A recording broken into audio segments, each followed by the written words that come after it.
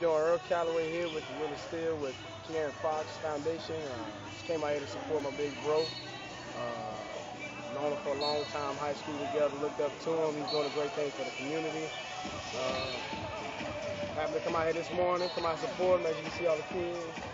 I had actors, guys I grew up with, so, you know, it's a good thing, man. I'm, I'm happy for him, proud of him, I'm inspired by him, and uh, wish nothing but success for him.